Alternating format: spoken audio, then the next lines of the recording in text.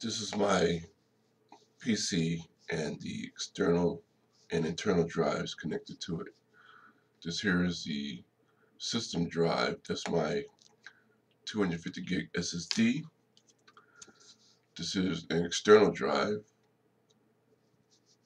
Uh, so it's this one and this one. So these are two separate external drives. This drive and this one are combined into one internal, and this is an internal drive. Now I'm going to check to see of all these drives, which these are formatted GPT. The ones I'm really concerned about are the ones that are bigger than two terabytes. This one here, and this one, and these two. As you can see, this one here has a total 2.6 terabyte. This has 0.98, so I'm pretty sure that these two are combined to be 4 terabytes. And this one drive here is 4 terabytes. So I want to see if these are formatted GPT. So I need to go into command line. So go to start, type in CMD, and I want to run it as administrator.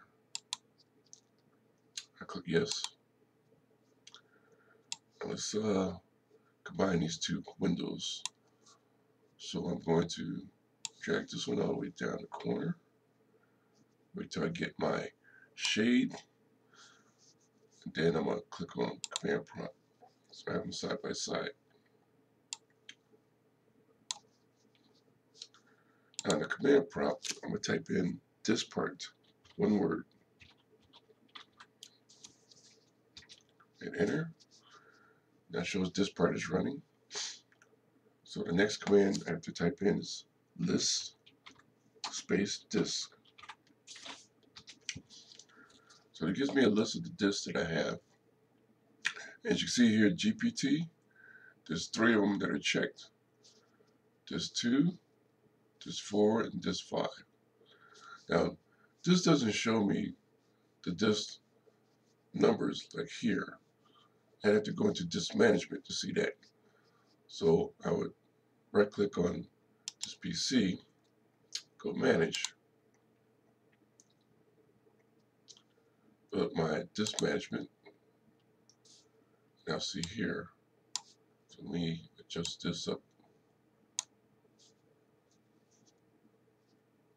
Move this over. Okay. So this zero, which is 223, scroll over here to zero, same disk here. That one's not GPT. That's the one that has my Windows. This one, 900 gigabytes, has my images. This two, which is shown as almost four, four terabytes, has my data and my movies. This three, 11 gigabytes right here. This has my Linux. This four, that's also about four ter four terabytes. Has movies and data, and that's GPT. And this five has my Im images. That's only one terabyte, but I still have it set up as GPT.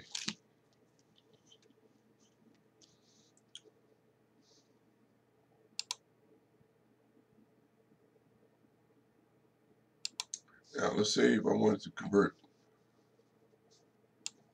the ones that are not GPT into GPT. I go into diskpart and I want to select that disk. So I click, I type in select disk and then the number. Say I do number three.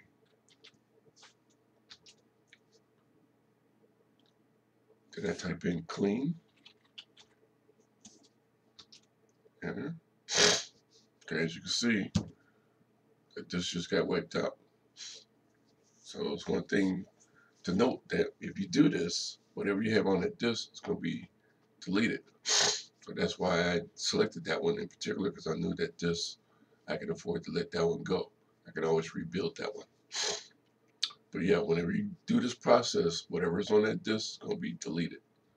So images, pictures, anything you have on there is gone. So you can't do this process on the fly.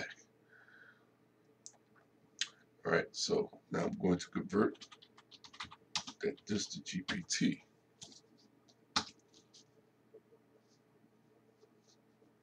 Now to verify that, I'm going to go back and list my disks.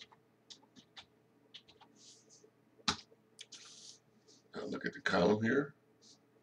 So as you can see here, this three before was not GPT, and now this three after is GPT. And then if you look at the size, it was 11 gig with free 43. Now it's 111 gig with free 1100 yeah, 111 gig. So wiped out that drive during this process. So that's one thing to remember is when you do this, you're going to delete everything on that drive.